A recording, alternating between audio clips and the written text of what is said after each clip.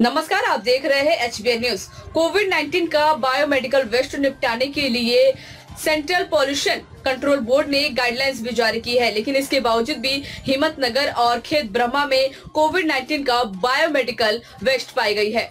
Covid 19 का biomedical waste निपटाने के लिए सेंट्रल पॉल्यूशन कंट्रोल बोर्ड ने गाइडलाइंस भी जारी की है। कोविड वेस्ट की हैंडलिंग, ट्रीटमेंट और डिस्पोजिंग का काम सॉलिड वेस्ट मैनेजमेंट रूल्स 2016 और बायोमेडिकल वेस्ट मैनेजमेंट रूल्स के तहत करने के लिए कहा गया है। लेकिन इसके बावजूद भी साबरकाठा ज़िले के हिम्मत नगर के सरवाड़ा रेलवे ब्रिज के नीचे और जो कोविड 19 में रैपिड टेस्ट में इस्तेमाल की गई किट पा गई है और खेत ब्रह्मा के लक्ष्मी पूरा जैन देरासर के पीछे जो पालिका के कचड़े के डब्बे में पीपीटी की सहित बायो वेस्ट नज़र पाया गया है।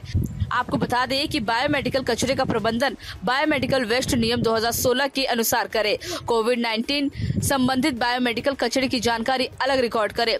बायोमेडिकल कचरे को साझा जैव चिकित्सा अपशिष्ट उपचार सुविधा में भेजने से पहले अलग कमरे में रखे। कोविड 19 संबंधित बायोमेडिकल कचरे का केल समर्पित और कोविड 19 के लेबल वाली ट्रॉली में स्थानांतरण करे। कोविड 19 से संबंधित कचरे की दोहरी परम के लाइनर में ही इकट्ठा करें। कोविड 19 संबंधित बायोमेडिकल कचरे को जिन कूड़ेदान और ट्रॉलियों में रख जाएगा, उन्हें प्रतिदिन एक प्रतिशत हाइपोक्लोराइड घोल से अच्छी तरह साफ़ करें। बायोमेडिकल कचरे को उचित रंग के कूड़ेदान, जिन पर कोविड 19 का लेबल लगा हो, उन्हीं में इकट्ठा करें। शहरी स्थानीय निकायों कचरा इकट्ठा करने वाले अधिकृत कर्मचारियों द्वारा इकट्ठा किए गए पीले लाइनर को सी भेजा जाना चाहिए। और हमारे संवाददाता ने इसके बारे में अधिक जानकारी लेने के लिए साबरकाठा ज़िले के स्वास्थ्य अधिकारी से टेलीफोनिक बातचीत करने की कोशिश की, लेकिन नहीं हो पाई। Bureau report, HBN news. क्या सच है, क्या झूठ?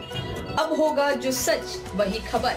हमसे जुड़े रहने के लिए हमारे चैनल को सब्सक्राइब करना ना भूले और देखते रहे एचबीएन न्यूज़।